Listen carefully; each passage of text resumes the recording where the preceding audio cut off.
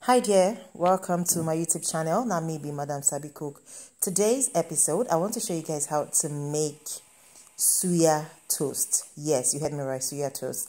This recipe, you have not seen it anywhere else. Sometimes play around your kitchen, try to invent uh, recipes, try to invent foods, okay? It will go a long way in helping you. I sliced my suya in small pieces. And the next thing I'm uh, slicing right now is my hot dog. So I'm going to slice it in tiny pieces. Then after slicing it the next thing is to move over to my pan. In a clean pan I added some vegetable oil. I'll allow that to heat up a little before adding my onions.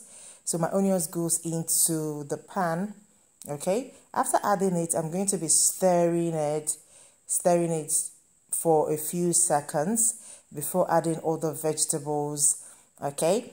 So after stirring it for some time the next thing i'll be going into the pan yes i'm going to leave it to fry for a few seconds like i told you. The next thing i'll be going into the pan is uh, my Irish potatoes that I sliced in tiny pieces. Now, if you have not subscribed to my YouTube channel, what are you waiting for? Please subscribe to my YouTube channel, help my YouTube ministry, okay? Now, let me know where you are watching me from. I added carrot, and the next I'm adding is the chopped hot dogs. Yes, all of it goes into the pot. So let me know where you are watching this video from.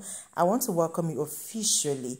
I want to welcome you officially to the family, guys, the Madam Sabi Cook family. So and my suya goes into the pot. So after adding everything together into the pan, so I'm going to saute this, like fry it for one to two minutes before I'll show you the next thing that we are going to be doing with the vegetables and of course the sweet and hot dogs.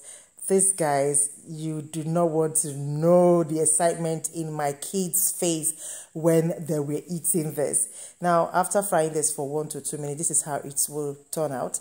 Now the next thing i'm going to do right now is to start toasting my bread. In the in my toaster i greased with some vegetable oil.